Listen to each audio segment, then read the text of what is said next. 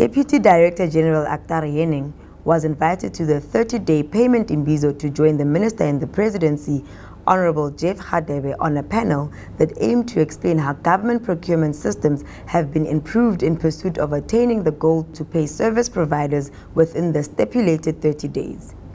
DDG Henning also shared the work done by StatsSA in helping other government departments set up processes that can help strengthen their payment systems. But let me just take you through some of the innovations. As StatsSA, um, our innovations around SMME and 30-day payments, it doesn't just stop there. Well, I joined StatsSA in 2006, and my mandate was Operation Clean Audit. So as I've learned at Harvard last year, it's called turnaround strategist or something like that, some fancy name. One of the biggest problems that we had at StatsSA was that we had uh, invoices that was delivered to various offices. And this is our fault as government. We are also to blame. We don't have a central point of collection of invoices. They are scattered everywhere. The mandate and the priority of the particular budget manager to whom you as a small business have delivered a service to, your invoice goes in the bottom of the drawer and nobody pays attention to it because the next call is from some accounting officer or some uh, user out there that requires some type of information or service and they forget about you. It's a common trend in government departments. Invoices that are subsequently admit, uh, submitted to finance departments were taking long to being processed because we wouldn't know where to put them because they were manually recorded in systems. And you know what happens with human error, eh? The volumes that we received we received 25,000 invoices per annum at StatsSA. During peak projects like the census, when we count you, Minister asked me this morning, are we still counting? We're always counting. We run up to 45 to 50,000 invoices in a particular cycle over five to six months when we have surveys. It became a challenge for us to actually manage these type of invoices and the amounts and the volumes. And what started off for us was the fact that service providers would continuously call the accounting officer, my SG, and even myself as the CFO then. And it became intolerable to understand that people are looking for their money and their money is not getting paid to themselves. It was very unfair. We work with the practice of serving the public, serving society. That's what we're doing in our mandate, and that's what we should be doing in our procurement and our payments processes. And we clearly didn't support the growth of any SMME in the, in the, in the country. And it was very clear that we couldn't deal with this effectively. I had done turnaround at another department, so I am, I am capable of saying that it's a common problem within all departments. What we then went on to was to try and understand and make our staff also understand the reason why we are here as corporate services, as CFO, as finance, procurement, is for us to be able to pay suppliers for the service that they gave, rendered to us on time, every time. Not just when they choose to, or not when a supplier said, ah, but yeah, I'll, I'll slip you 50 bucks, pay my invoice quickly. It does not work like that for us.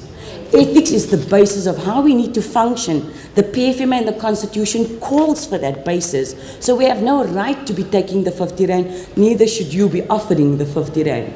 It's our service, it's what we are get paid for as government employees to offer that service. You've offered a service to us, we have a duty and a, and a responsibility to yourselves.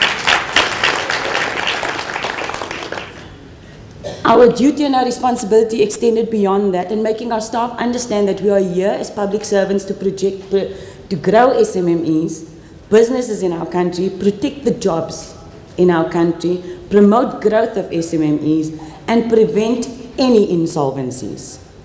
We had to also make sure, obviously, compliance is a big thing. Uh, sometimes they call me Dr. No, or the compliance monitor of StatsSA. That's our job. We have to remain compliant in terms of our PFMA, the triple PFA and all the regulations. Sorry, I'm smiling. I see one of my old employees sitting in front.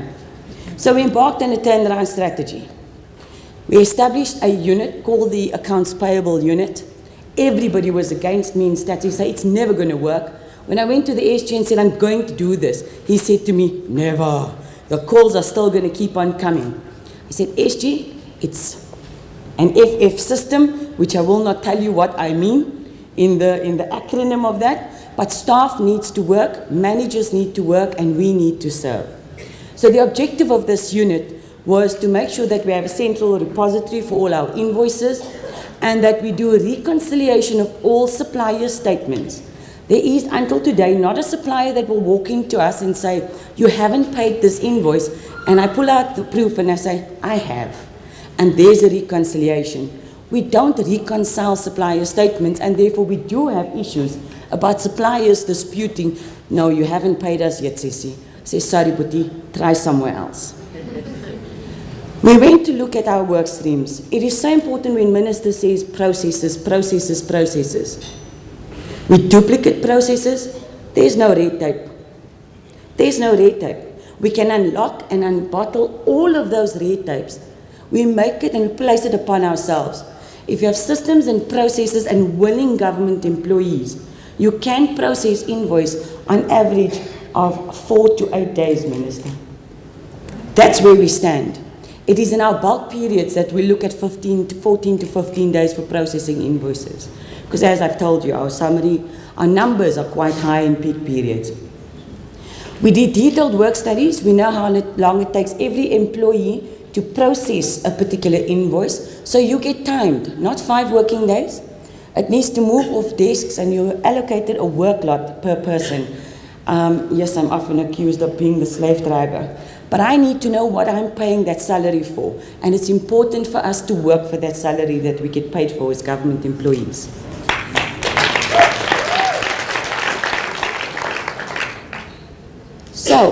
As much as I put the thumb of a hard fist and a tight notch on my employees, I went public. We advertised in all newspapers to make sure that all of our suppliers understood our payments protocol and procedure including our supply chain management practices.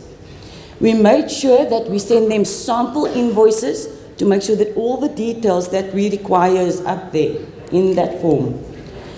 Issues of VAT numbers, tax numbers is cleared at SCM process, not when we do your invoicing. You have to be upfront with us and tell us where you stand. There have been instances when your tax affairs are not up to date. I am a taxpayer myself and I do serve this government we deduct on behalf of SARS. Sorry, ne? Okay. Also made it very clear, and when we issue an order to yourself, or uh, we make sure that you understand that any invoices that are not compliant with our processes as a supplier, we will not process that invoice. We return it to you. You will reissue that invoice with a new invoice date so that we don't get penalized when it's 45 days late, but the issue is on your side. So most of the big businesses, they cry about this because it messes up their aging on their account side. But our small businesses are quite good. They, they listen to us, okay? And that gave the birth of what we call the invoice tracking system. We're currently uh, rolling out the system to three, four departments, including the presidency. They're utilizing the system and in consultation with about 12 other government departments and both at a local level as well, national and local. We make sure that we share what we have. The system was developed first as an Excel spreadsheet in my office with the use of an administrator, and further it's migrated to MS Access. I'm not going to go through all of the information, but I have to say to yourselves that it's important that there's active management, supervision, robust management, and a leadership of zero tolerance. When we pick up on our reports that our staff is not performing, so any invoice that's later than 30 days, without a valid explanation, any interest or penalties gets deducted from your salary as a staff member.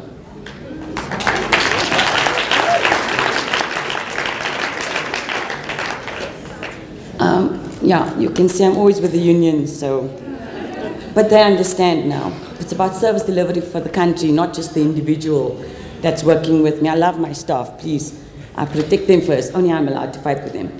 So the system, just to give you a brief overview, it looks at actually tracking that invoice from the time, or your order, from the time that we have issued that order to you, how fast have you delivered, where, where's the invoice in the process. It's got a whole lot of detail to it and many reports. But what I want to show you guys is this is that it has a reporting mechanism that even myself as the head of corporate services and the statistician general can tap into the system at any point in time and track the aging of every single invoice that we have. It also makes our national treasury reporting much easier for us. We pull everything off the, off the system. If you look at the little round block on my left-hand side, and I guess your right-hand side, we can even be able to track and say how many invoices sitting with myself as a budget manager that I have not signed. Although the rule is, when my staff comes to you to sign the invoice, we wait for it. Nothing lays on your desk. Just some of the aging mechanisms that we have in there. This is for me the best, and this is where my SG said to me, it's never going to work. At Stats SA, if you've got a valid order number, a supplier number, you, as the service provider, you track your invoice. Public accountability. It's not a staff member telling you that the invoice is laying on the DDG corporate services desk. You can actually track in the key core processes that we utilize to process an invoice. You can say, but it's been laying there for too long. So we make the monitoring not just an internal accounting officer, process minister, but we also put it in the hands of the service provider so that you can track where your invoice is.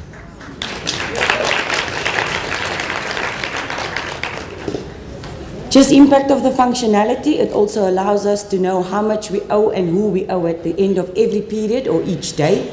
So once you've rendered the service, you actually become an accrual to us in the system for those who are the accountants like myself and not the statisticians.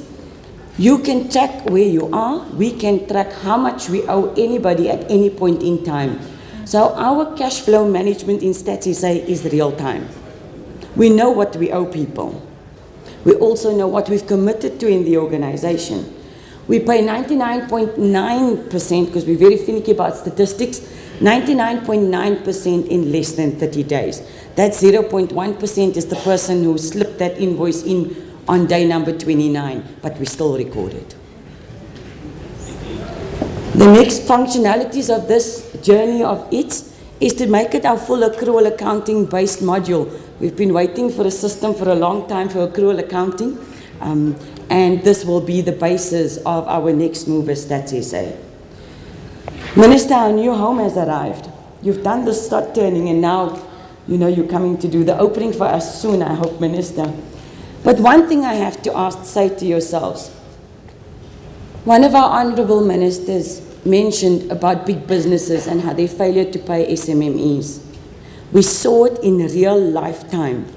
At Stats SA, we don't only monitor the SMMEs who provide us a service, but we've just appointed, or we've just moved in, two years ago, we appointed a triple, uh, a company, one of the big powerhouses, construction company, in a consortium to build our new home at Salvokop. Stats SA monitored the big giants and watched how they paid women in construction, SMME businesses, as well as all other SMS, SMME businesses. Because what we found is, is that they sit and they hold the cash once we've paid them, and they don't pay you. Yeah. We monitored them, we, we put penalties attached to that, let alone us negotiating to develop women in construction with sustainable skills, their businesses, and even giving ownership into the consortium that we had appointed to build our new home. It is on that note that I say that we're an organization that exists so that service delivery innovation benefits a society at large and not just the big giant companies that are out there. Thank you very much.